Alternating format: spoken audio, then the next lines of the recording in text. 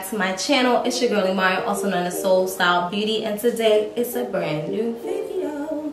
So today we're gonna be talking about combating negative thinking and also doubt okay so this is a SOULflection video and what i'm planning to do is drop these every single monday because when you go into a fresh week you want new intentions you want a fresh mindset you want to make sure that you're going in and you're ready for the week you know especially if you're a teacher like me because your mindset is literally everything and it can just you'll just have an even faster burnout. But anyways i hope that everyone's well. I hope that you had a beautiful thanksgiving whether it was solo or with family. For me it was just like really really chill. Like it was just me jose and my parents. That's it. And i was just satisfied with that especially being like the first year where both my parents was in the same you know home. So it really meant a lot for me. So it was like a sentimental thanksgiving. But i hope that you guys enjoy. If you do enjoy this video don't forget to like comment and subscribe if you're not a part of the soul style beauty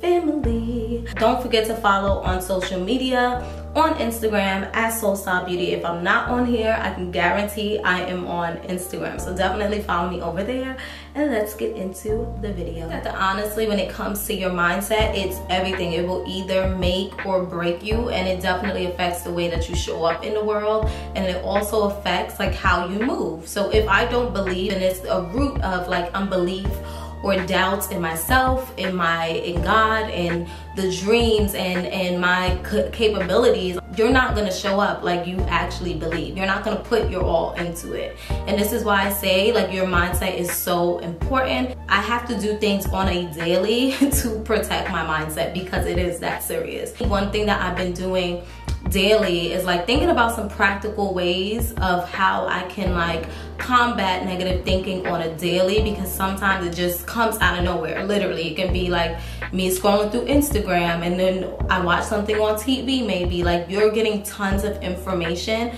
daily. Um, so we're gonna talk about a few things that I like to do, practical ways of how I combat doubt, how I combat um, negative thinking and let's get into numbers. Let's talk about identity because I'm telling you, identity is everything. What you think about yourself, what God thinks about you. If you don't believe in that, then we need to get to the root. When it comes down to identity in a biblical perspective, I feel like you know as a believer that Christ lives inside of you. Whenever you accepted God, when you got saved, you know that that the Holy Spirit lives inside of you. Knowing the the role of the Holy Spirit who lives inside of you that's an indicator that my faith is low. That's an indicator that I'm far away from God. Maybe I'm not in my word. Maybe I don't have faith. Um, maybe I, I have not been like leaving room for God. So I always discuss things with myself at a biblical level. Then I also like to look at myself. Like, what do I think about myself as well? Um, because I think that is super important because when you pursue certain things, you have to do it without the accolades, without the support, without the applause. You have to know that you're bringing something to the table. There are times where I go to certain events, like when it comes to influencing and in the beauty world, and when I first started out, I was very insecure on what I did. And I'm like, I like, why would these people want to communicate with me? Why would they want to connect? And even sometimes still, I can still feel that way.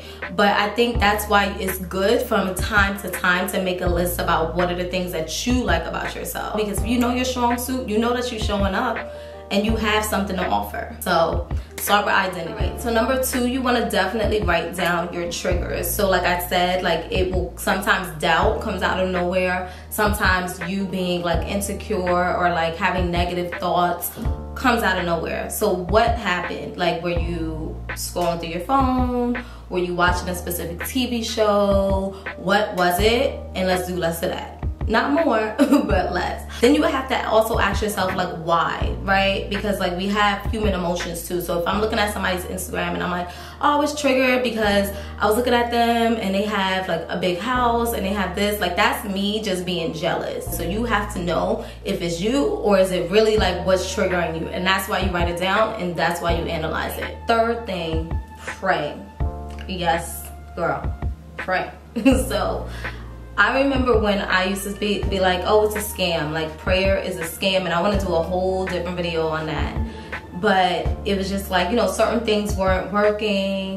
but then things were working, but not as fast as I wanted them to happen. And also the outcome that I expected to receive or be answered that prayer didn't line up. So I was like, what's going on, God? Like, what is this? I'm telling you, prayer works. And also, the word says, pray without ceasing, pray in all circumstances. So, definitely don't think that prayer is like a scam or it's like some cliche thing. Like, really believe not a God that, you know, prayers fall on deaf ears. So, make sure that you are truly believing when you pray. Lastly, speak over yourself. Affirmations, affirmations, affirmations. Like, speaking over yourself, like writing things that, you know, are specific to those negative thoughts or those specific doubts and speaking that over your life every day, it helps, it helps, it helps. So definitely um, look up biblical affirmations like from scripture and you can also write your own affirmations and speak that over your life. I'm a believer of both, trust. If you made it to the end, you are a gem. If anything resonated with you, make sure to leave a comment down below. Also, make sure to share this video if it truly, truly helped you. And also, don't forget to follow me on Soul Style Beauty on Instagram because if I'm not here, I'm also on Instagram. So, once again, thank you so, so much for being subscribed, and I'll see you next time. Bye.